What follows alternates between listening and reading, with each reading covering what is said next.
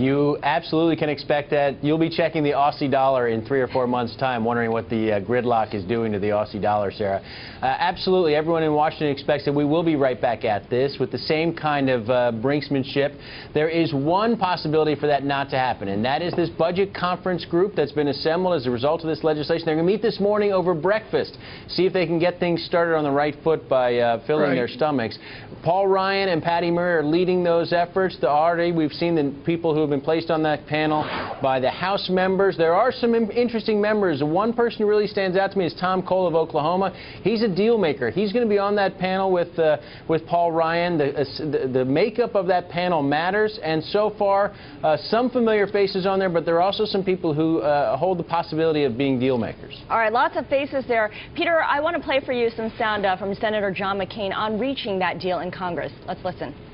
We are now seeing the end of this agonizing odyssey that uh, this body has been put through, but far more importantly, the American people have been put through. It's, it's one of the more shameful chapters that I have seen uh, in the years that I've spent here in the Senate.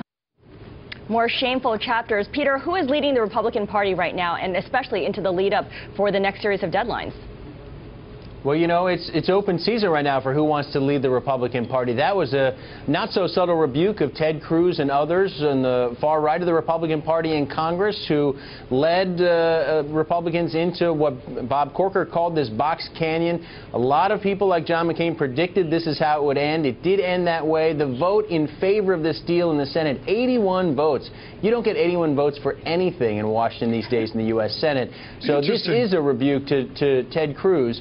Uh, Uh, but it, it's open season. It, it remains to be seen who's going to lead the Republicans. Mitch McConnell stepped up when he needed to as a leader, put his own political future at risk in doing so. He could end up losing as a result of this deal, but he kept the country from going over the brink. And Peter Cook, I just want to mention also you'll be speaking with Senator John McCain for your weekend program.